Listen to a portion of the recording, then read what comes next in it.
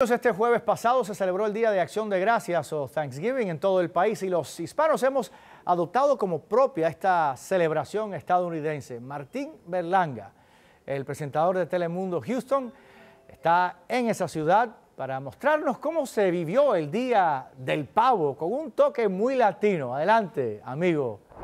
Muchísimas gracias, José. Como bien lo mencionas, a lo largo y ancho de la nación, cuando recién llegan los inmigrantes, el Día de Acción de Gracias no dice gran cosa, a excepción de que es día libre y de que las tiendas están cerradas o estaban.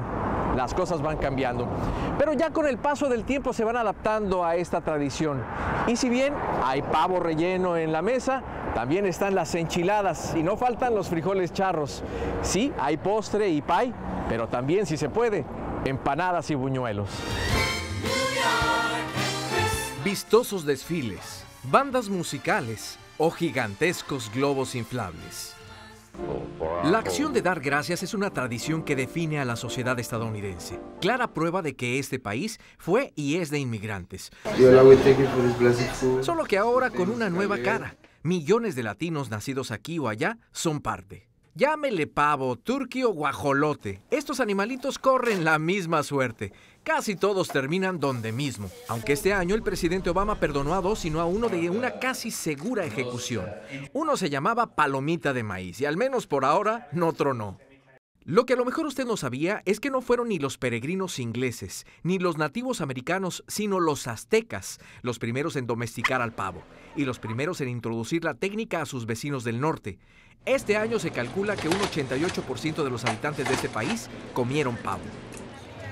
En esta celebración masiva se sirvieron más de 3.000 platillos a personas de escasos recursos, y aquí hasta los políticos se quitaron por un momento la gorra de congresistas para ponérsela de voluntarios.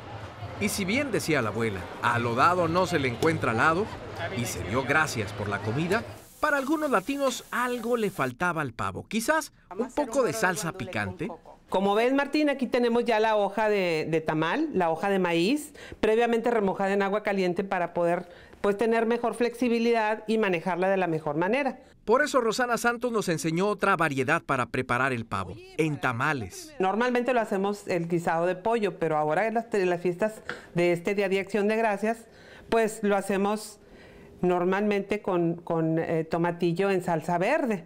Entonces sabe el pavo riquísimo, le da un sabor muy especial, muy diferente y bueno, lo hace tradicional en este, en este día. Como la, mezcla de dos culturas. Así es, es la mezcla de dos culturas.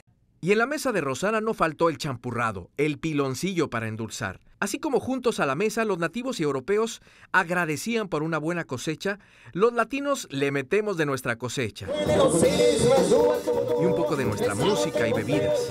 La Asociación Nacional de Restauranteros dijo que en más de 30 millones de hogares estadounidenses no cocinaron. Y es ahí donde Rosana y su familia les fue bien, pues su negocio de tamales ha progresado. Estamos saturadísimos de trabajo. Esta temporada la esperamos año tras año, obviamente, para satisfacer el paladar de nuestros clientes.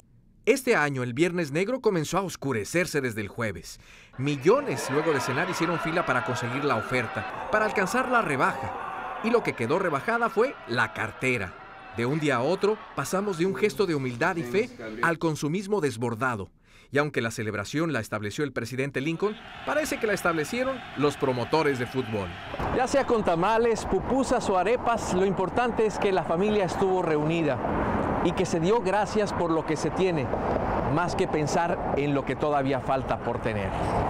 Muchísimas gracias desde Houston, Texas. Volvemos contigo.